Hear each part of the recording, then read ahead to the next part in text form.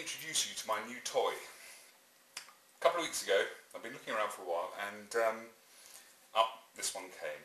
It's the Mossberg 500 3-shot Hushpower in a 410 version. They do several versions. They do one in 20 gauge and one in 12 gauge. Uh, you can either have wood or synthetic stock and forend. Um, and I think there's also what they call the kit where you can have an extra barrel that doesn't have the, the uh, Hushpower moderator on as well. So obviously it's a little bit more money. Um, so you've got the choice whether you want to use the Hushpower barrel or, or the non-Hushpower. Right, in the box, I've still got all the goodies with it. Um, it's a lovely set of tacky stickers if you want your shotgun to look like a boy racer car. Uh, the manual, bath time reading, a little cable padlock which I assume is to go through the breech there. Um, not a huge piece of security but I guess every little bit helps. Right, uh, measurements. Now, a lot of people obviously want to know how long these things measure, see whether you can get them in the cabinet. So let's start off with the barrel first. it's a 24 inch barrel. See somewhere inside there the, the, barrel finishes and the moderator takes over the bulk of it. Uh, th chambered 3 inch sh shells.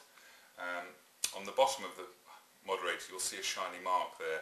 Now it's come up on forums when people have asked questions, is that a scratch? It's not, it's the proof mark. So, um, so if you see that on a gun you're looking at, there's no need to worry. Um, they do say, because of the porting inside the, the moderator, that you must use fibre wads through it, because otherwise the plastic wads shave off and fill up the moderator, and that's obviously not good news. So, measurements-wise, overall, from the muzzle end through to the breech end, taken apart, it's 33 and a quarter inches or 840 millimeters. Okay. Um, now the action from the tip of the magazine tube there through to the end of the stock just here without the spaces is 32 and a quarter inches or 820 millimeters. Now because I'm a lanky tall chap I've obviously got the spaces here that it was supplied with and the rubber butt pad. So that makes an overall length for me of, of the from the magazine tube to the end of the um, rubber recoil pad. 33 and 7 eighths and 861 millimeters. And therefore anybody who's interested it will make the length of pull 14 inches.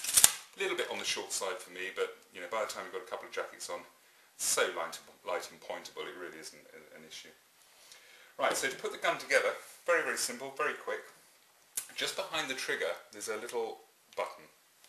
Okay, now that locks the mechanism. So depress that little button and that frees up the forend and actually come backwards and forwards.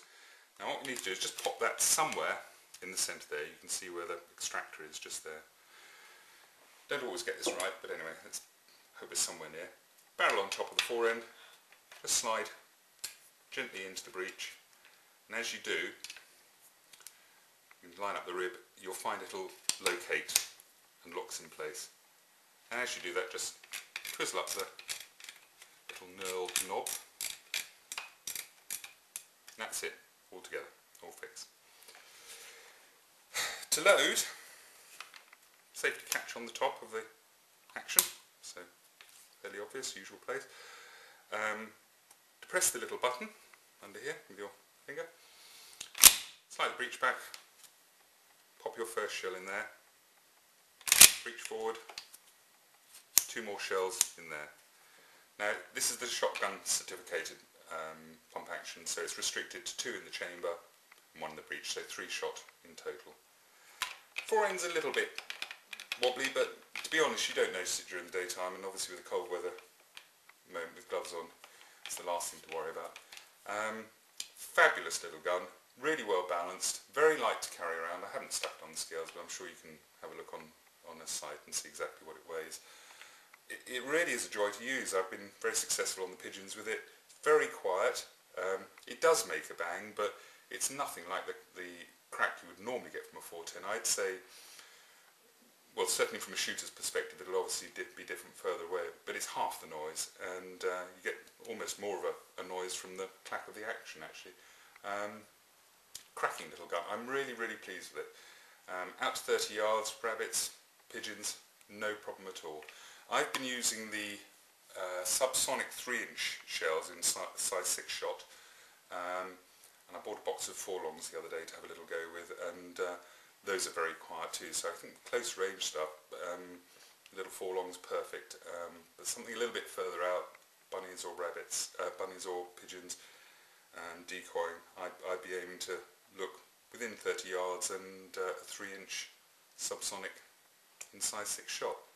Go and buy one. They are absolutely fantastic. I'm thrilled to bits with this. It's uh, it's the best one I've had in ages. So there you go, short review, hope that's helpful, and enjoy your shooting.